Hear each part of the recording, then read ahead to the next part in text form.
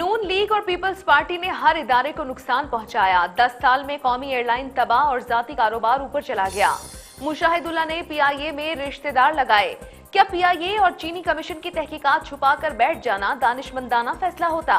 खिलाफ जाब्ता भर्तियों में मुलविस अफराद का कड़ा एहतसाब होगा। पीआईए की खोई हुई साख दोबारा बहाल कराएँगे। हुकूमती वजरा की प्रेस कॉन्फ्रेंस, कहा शाहिद खाकान वज़ीर आज़म होने के साथ एयर ब्लू के मालिक भी थे।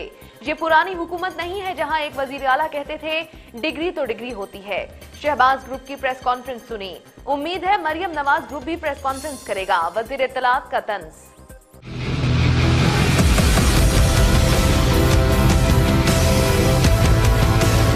को तबाह करने में जो सियासतदान थे इस मुल्क में जो बैठे हुए थे उनका बड़ा हाथ है।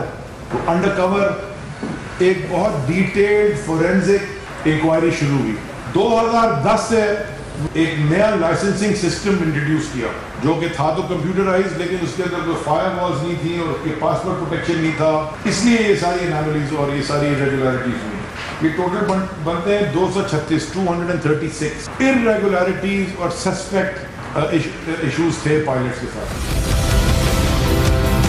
लिस्ट है वो सस्पेक्ट पायलट्स की है और सस्पेक्ट पायलट्स में से डिफरेंट जो उसकी कंफर्मेशन का प्रोसेस है वो जारी है। और उसमें इस वक्त जो प्रोसेस कंप्लीट हो चुका है वो शायद 28 का है जो कल कैबिनेट के पास कैंसिलेशन के लिए आया है। जो सस्पेंशन का होता है सस्पेंशन के बाद जो सिविल एविएशन के रूल्स हैं उसमें रूल 342 है शायद उसके तहत एक पूरा ड्यू प्रोसेस है जो हर उस बंदे को मिलना ज़रूरी होता है। उसमें सारे लोग पायलट्स नहीं हैं। उसमें टेक्निकल स्टाफ भी है जो सपोर्टिंग स्टाफ होता है।